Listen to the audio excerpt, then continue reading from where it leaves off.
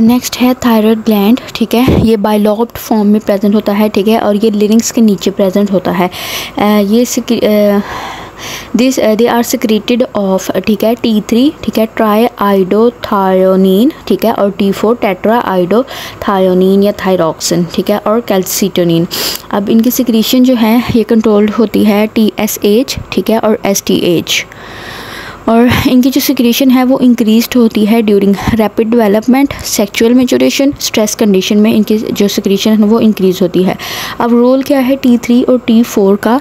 कि ये इंक्रीज़ करते हैं B M R B M R मतलब बेजल मेटाबॉलिक रेट को इंक्रीज़ करते हैं, ठीक है? जिसमें ब्रेक डाउन होता है ग्लूकोज का, ठीक है?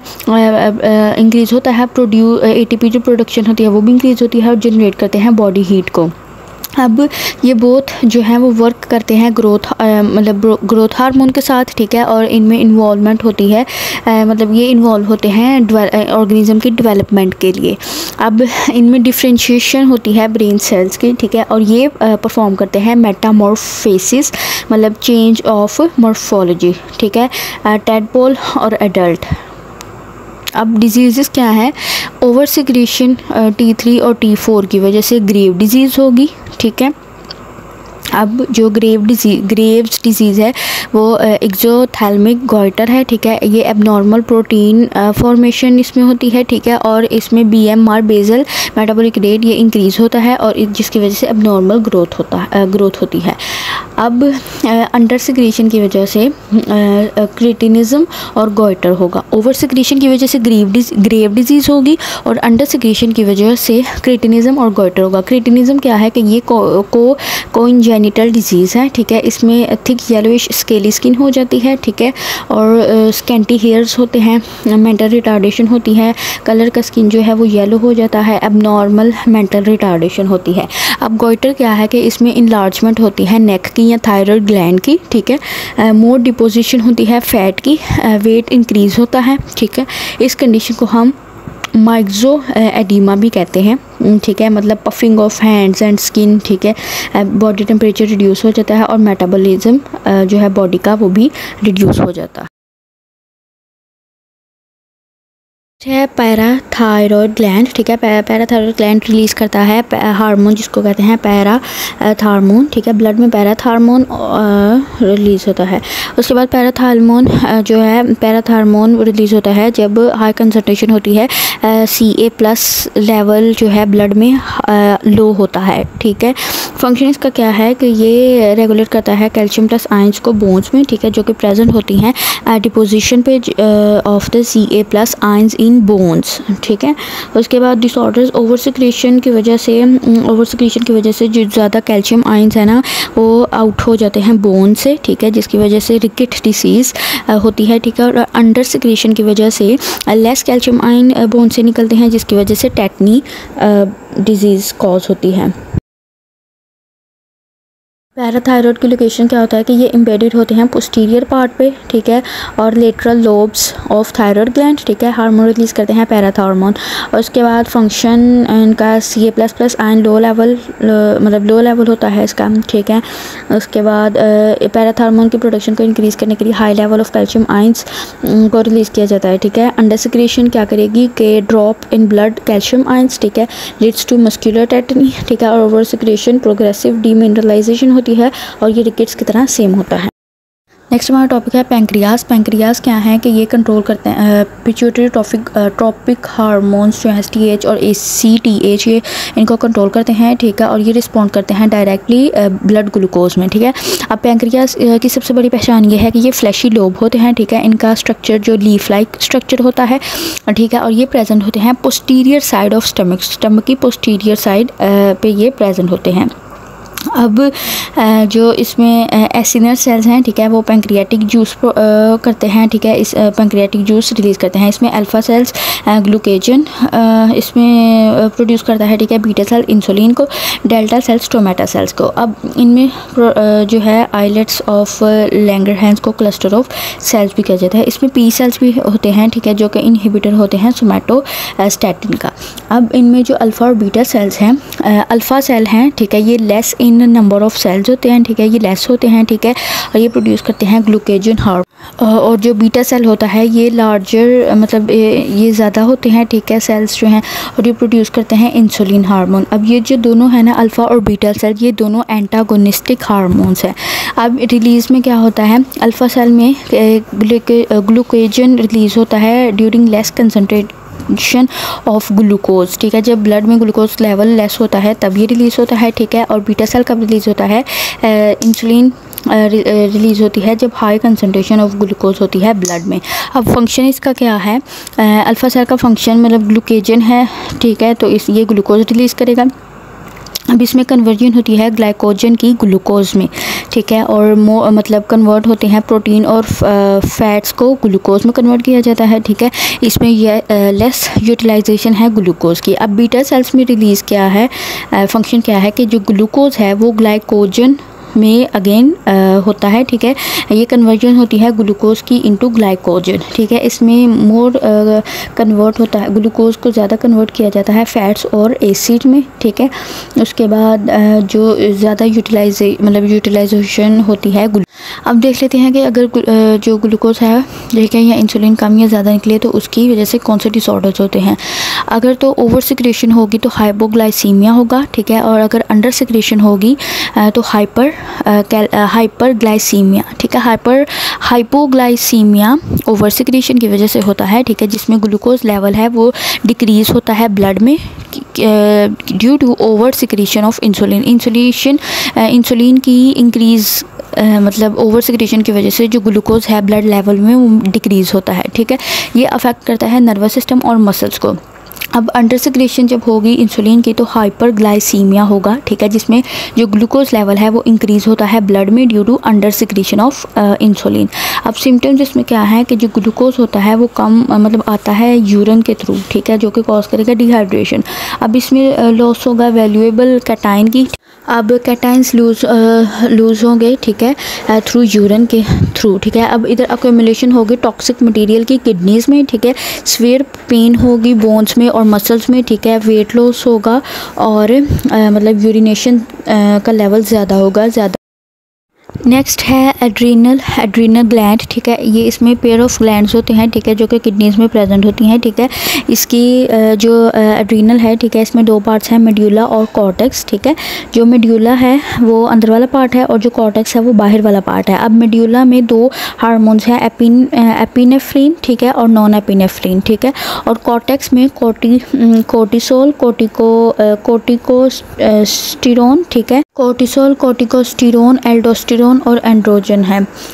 नेक्स्ट इसमें मेड्यूला में जो है एड्री एड्रीनलिन और नॉन एड्रीनलिन है। एड्रीनलिन में ये क्या है कि इसको एपिन एपिनेफ्रीन भी कहते हैं ठीक है? और वे, वेजो डायलेशन में ये काम आता है ठीक है? और ये डायलेट करता है ब्लड वेजल्स को स्केलेटन मसल्स में ठीक है? और मोर ब्लड आउटपुट होती है मतलब हार्ट से ज़्यादा ब्लड आउटपुट होता है ठीक है? उसके बाद नॉन एड्रीनलिन जो है ठीक है? इसको नॉन एपिनफ्राइन भी कहते हैं ठीक है? ये वेजो कंस्ट्रिक्शन में काम आता है। और ये कॉन्स्ट्रिक्ट करता है। देखें एड्रीनलिन जो है वो डायरेट करता है ब्लड वेजल्स को और जो नॉन एड्रीनलिन है वो कॉन्स्ट्रिक्ट करता है ब्लड वेजल्स को गट में। ठीक है? इसमें जो ब्लड वेजल्स है वो मोर ब्लड इनपुट होती है हार्ट से। एड्रीनलिन में आउटपुट होती है हार्ट से और नॉन एड्रीनलिन में इनपुट होती है हार्ट से, ठीक है? साइन साइनर्जी ठीक है? मतलब अगर तो दोनों हार्मोन वर्क टुगेदर करेंगे, ठीक है? तो इस टाइप मतलब इस type this type of work is called as synergetic work ठीक है? इनका रोल क्या होता है कि ये इन्वॉल्व होते हैं ब्लड प्रेशर के कंट्रोल ब्लड प्रेशर को कंट्रोल करने में। अब कॉर्टेक्स में आ जाता है कोटिकोस्टीरोन ठीक है? कोटिकोस्टीरोन को हम ग्लूकोस्टीरोइड और मिनरल कोटिकोस्टीरोइड भी कहते हैं, ठीक है? ये मेंटेन करते हैं ग्लूकोज को ब्लड में और रेगुलेट करते हैं आइंस को ब्लड में। अब कोटिकोस नहीं कोटिसल कोटिसल क्या है? इसको हम कहते हैं ग्लूकोकोटिक कॉर्टिकोइड ठीक है? भी कहते हैं, ठीक है? ये राइज करता है ग्लूकोज लेवल ब्लड में, ठीक है? कैसे के प्रोटीन्स की ब्रेकडाउन करके ये ग्लूकोज लेवल ब्लड में इंक्री राइज करता है। अब एल्डोस्टिरोन क्या है कि इसको हम मिनरल कॉर्टिकोइड भी कहते हैं, ठीक है? ये कंजर्व करता है सोडियम आयंस को। एंड्रोजन क्या है कि ये एक्ट करता है एज टेस्टोस्टिरोन ठीक है? और ये मेल और फीमेल दोनों में रिलीज़ होता है, ठीक है? अगर तो कोई डिसऑर्डर डिसऑर्डर फीमेल में है ठीक है? तो एड्रीनल ग्लैंड अकर होगा, ठीक है?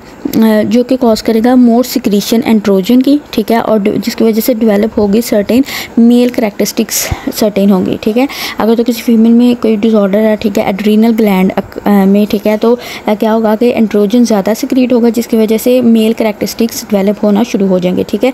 ये कंट्रोल करता है मेल सेकेंडरी सेक्स करेक्टर्स को। अब कोटिकल हार्मोन जो है, उसके अंडर और ओवर सिक्रीशन से क्या होगा, ठीक है? कोटिकल हार्मोन जो है उसकी अंडर सिग्रेशन से क्या होगा कि एडिसन डिज़ीज़ होगी, ठीक है जिस जो कि मैंने पहले भी बताया था, जिसमें स्किन का कलर डार्क होना शुरू हो जाता है, ठीक है। जिसमें अंडर सिक्रेशन होगी अंडर सिग्रेशन होगी कॉर्टिकल कॉर्टेक्स हार्मोन की, ठीक है एडिसन डिज़ीज़ में, ठीक है लो लेवल ऑफ़ हो जाएगा ग्लूकोज का ब्लड में, ठीक है, और मिनरल्स जो हैं वो लॉस हो जाएँगे, ठीक है, जिसकी वजह से बोन्स जो हैं वो बहुत ज़्यादा वीक हो जाएँगी। अब ओवर सिक्रीशन क्या है कि इसको कशिंग कुशिंग डिज़ीज़ भी कहते हैं, ठीक है? ये ओवर सिक्रीशन कुशिंग डिज़ीज़ जो है वो ओवर सिक्रीशन की वजह से होती है कॉटेक्स हार्मोन की ओवर सिक्रीशन की वजह से, ठीक है? इसमें जो blood ग्लूको sorry level of glucose है ब्लड में वो हाई होता है, ठीक है? इसमें मोर कंसनट्रेशन होंगी आइंस की, ठीक है? और डिस्टर्ब करेगा मेटाबॉलिज्म ठीक है? और वीक बोन्स और मसल्स को वीक करेगा। नेक्स्ट है गट ठीक है? गट जो है दो हार्मोन रिलीज़ करता है गैस्ट्रिन और सिक्रेटिन गैस्ट्रिन जो है ये रिलीज़ होता है म्यूकस स्टमक के म्यूकस है it is release from mucus of stomach ठीक है? और जो सिक्रेटिन है वो रिलीज़ होता है ड्यूडिनम वॉल लाइनिंग से ठीक है? अब जो गैस्ट्रीन है उस, उसकी सिक्रीशन जो है वो under is under the control of protein of protein food ठीक है? गैस्ट्रीन की सिक्रीशन जो है वो प्रोटीन फ़ूड के अंडर कंट्रोल है ठीक है? और सिक्रीटिन की जो सिक्रीशन है वो बाय एसिडिक फ़ूड के अंडर कंट्रोल्ड है। अब जो गैस्ट्रीन है, ठीक है, ये स्टिमुलेट करता है ताकि सिक्रीट किया जा सके गैस्ट्रिक जूस को, ठीक है? और जो सिक्रीटिन है, ये स्टिमुलेट होता है ताकि सिक्रीट किया जा सके पेंक्रियाटिक जूस को। गैस्ट्रीन जो है, वो गैस्ट्रिक जूस सिक्रीट करता है और जो सिक्रीटिन है, वो पेंक्रियाटिक जूस को स्टिमुलेट मतलब रिलीज़ करेगा। नेक्स्ट है गोनेट्स ठीक है? गोनेट्स में ओवरीज और टेस्टिस आ जाते हैं, ठीक है? अब जो ओवरी हैं, ठीक है ओवरीज का क्या है कि ये टू इन नंबर होती हैं मतलब इनकी ये दो प्रेजेंट होती हैं बॉडी कैविटी में, ठीक है? और ये इनकी लोकेशन क्या होता है? लेटरल साइड ऑफ़ बॉडी अब इसमें दो हार्मोन है एस्ट्रोजन और प्रोजेस्टिरोन ठीक है? अब जो एस्ट्रोजन है, वो सिक्रीट होता है फ्रॉम प्राइमरी फॉलिकल सेल्स ठीक है, जिनको हम ग्रेफियन फॉलिकल सेल्स भी कहते हैं, ठीक है, और इसमें डेवलपमेंट होती है प्राइमरी फॉलिकल्स की। प्राइमरी फॉलिकल जो डेवलपमेंट है ना प्राइमरी फोलिकल वो कंट्रोल किया जाता है F S F S H ठीक है। अब इनका फ़ंक्शन क्या है कि जो एस्ट्रोजन है, ठीक है, वो वर्क करेगा एज पॉजिटिव फीडबैक मैकेनिज़्म ठीक है क्योंकि क्योंकि जो है ना मतलब फीडबैक मैकेनिज़्म की तरह मतलब वर्क करेगा क्योंकि जो इंक्रीज़ लेवल होगा, ठीक है एस्ट्रोजन का तो इंक्रीज़ उसकी वजह से क्या होगा कि इंक्रीज़ लेवल होगा एल एच का, ठीक है ल्यूटिनाइजिंग हार्मोन का।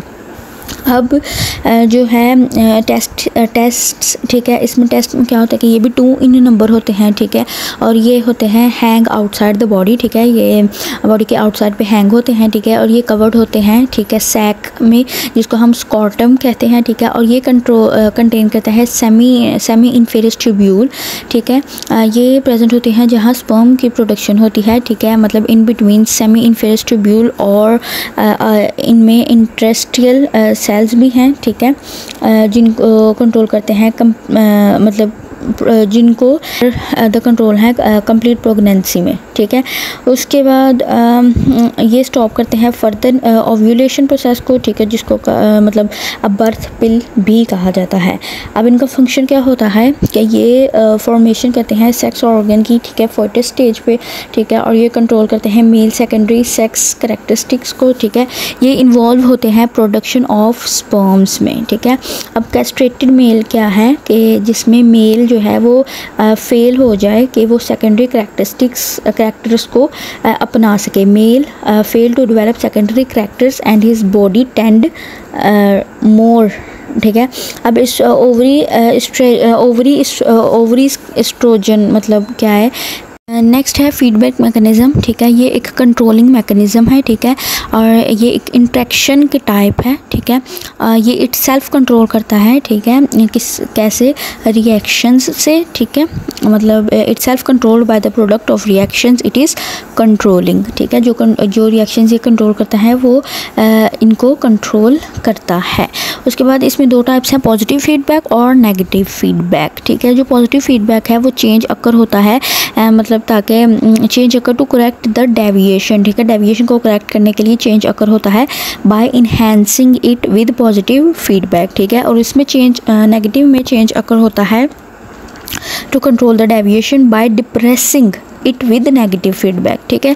इसमें पॉजिटिव फीडबैक में जो रिस्पॉन्स है वो नॉन होम्योस्टैटिक हैं ठीक है? और जो नेगेटिव फीडबैक में रिस्पॉन्स है वो होम्योस्टैटिक हैं ठीक है?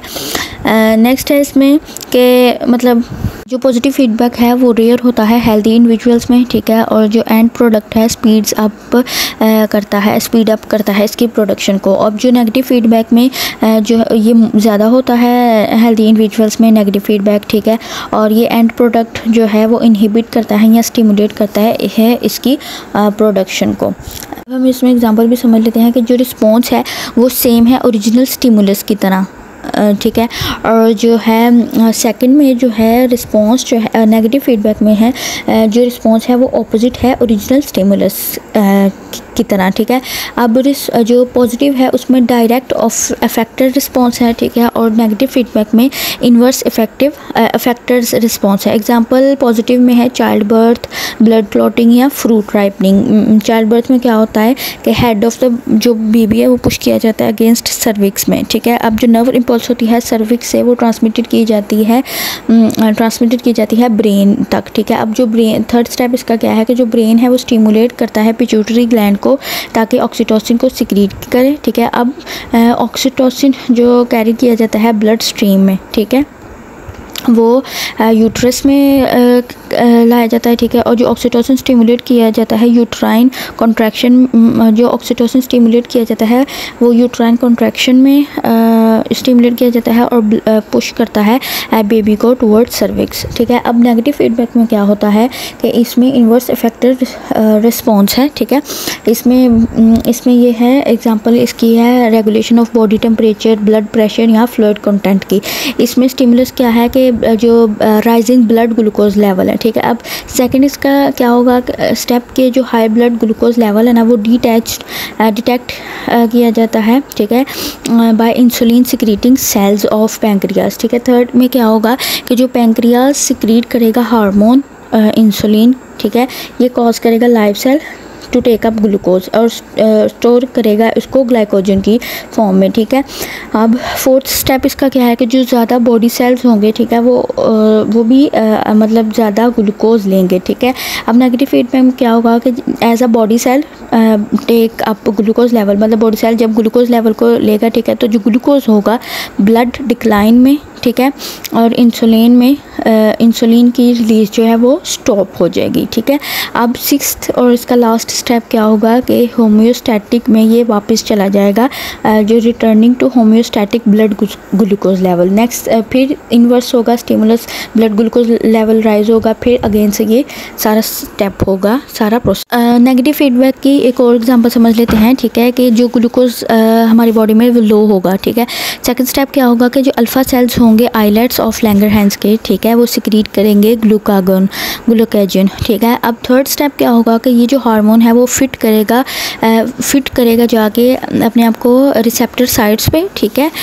सरफेस मेम्ब्रेन और एक्टिवेट करेगा इंजाइम को। अब जो इंजाइम कन्वर्ट करेगा ग्लाइकोजन को ग्लूकोज में, ठीक है? अब जब ये कन्वर्जन होगी तो फिफ्थ स्टेप क्या है कि ब्लड ग्लूकोज लेवल राइज होगा, ठीक है?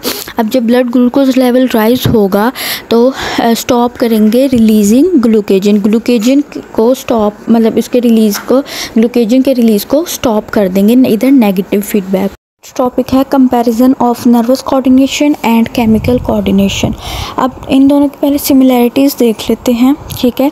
कि जो नर्वस सिस्टम है और केमिकल कोऑर्डिनेशन है, वो दोनों सिंथेसाइज करते हैं केमिकल मैसेंजर्स को, जो बोथ रिलीज़ करते हैं केमिकल्स को एक्स्ट्रा सेलुलर स्पेस में और दोनों हेल्प करते हैं कोऑर्डिनेशन में।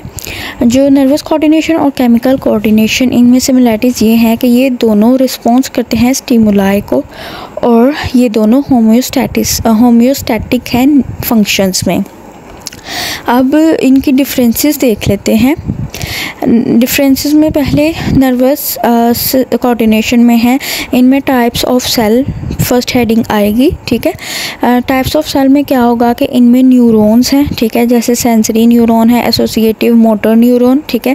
ये बेसिक यूनिट हैं स्ट्रक्चर के और फ़ंक्शंस के और इनमें न्यूरोग्लियल सेल जैसे न्यूट्रिशन और प्रोटेक्शन प्रोवाइड करते हैं। न्यूरोग्लियल सेल भी प्रेजेंट है। Next distance from target second heading है इसकी नर्वस कोऑर्डिनेशन में कि जो केमिकल प्रोड्यूस्ड होता है न्यूरॉन से ठीक है?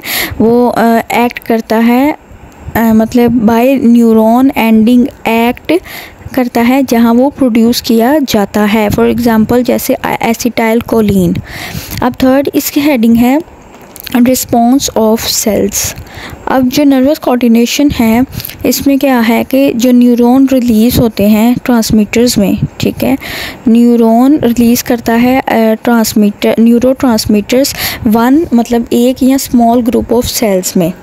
अब इसकी time of time for response ये है कि इसमें मतलब इमीडिएट अफेक्ट होता है। नर्वस कोऑर्डिनेशन में इमीडिएट अफेक्ट होता है। अब नेचर ऑफ़ सिग्नल्स क्या है? कि इसमें नर्वस कोऑर्डिनेशन में इलेक्ट्रिकल सिग्नल्स हैं, ठीक है? Speed of response nervous coordination में फास्टर और रैपिड है।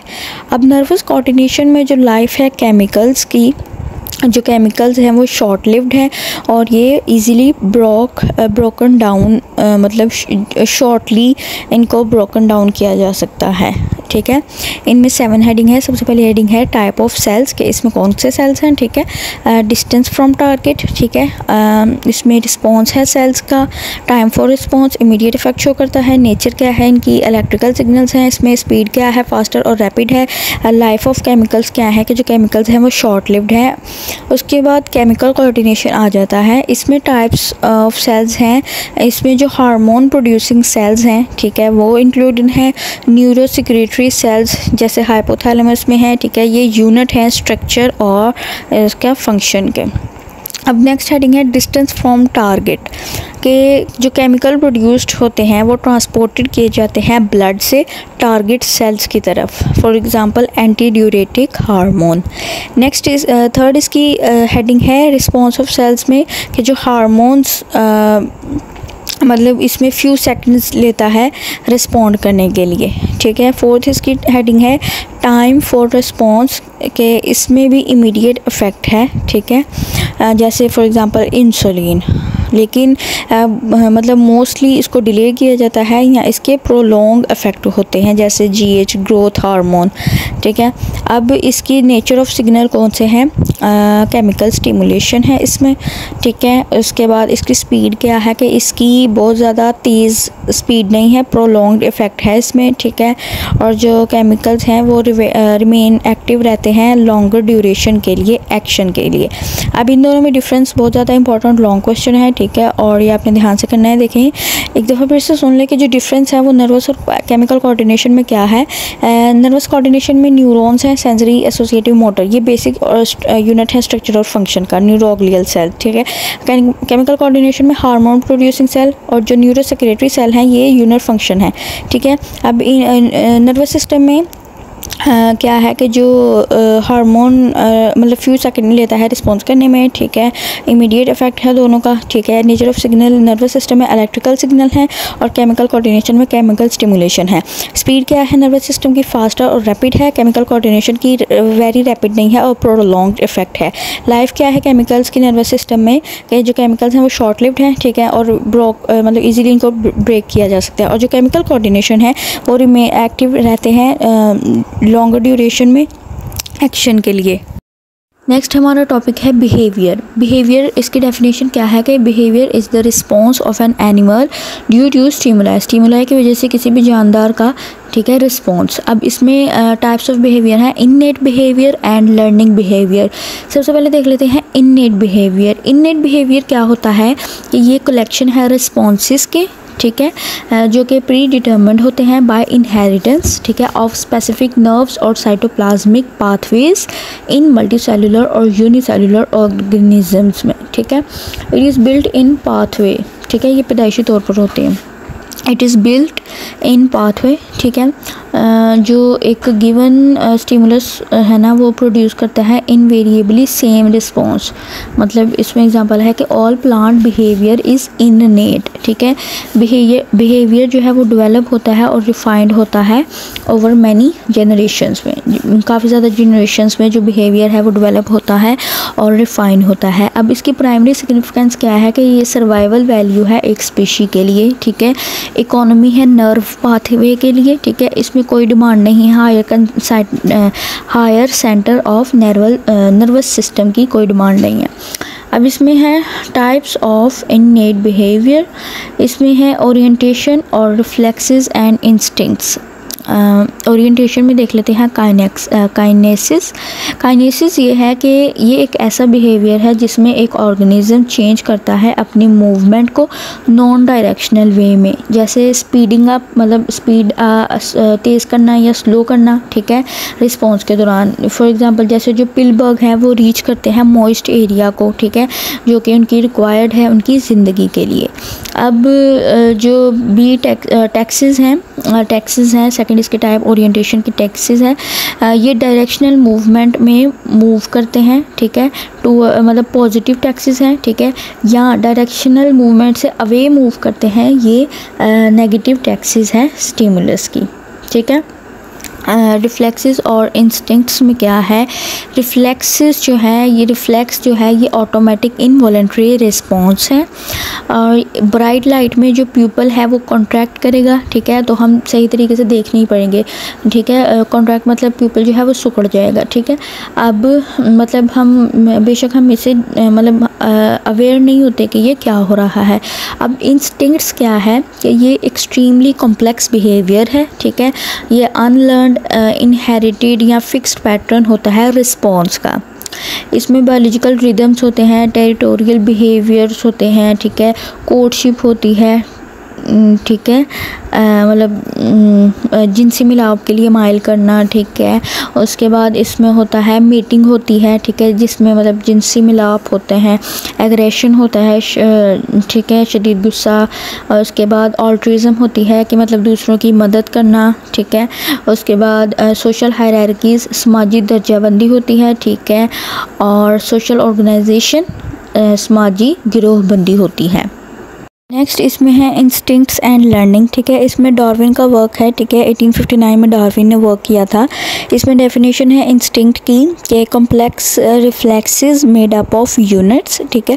Compatible with mechanism of inheritance and product of natural selection evolve together with other aspects of life ठीक है? इसमें जो कॉम्प्लेक्स रिफ्लेक्सेस हैं यूनिट से मिलकर बने होते हैं, ठीक है?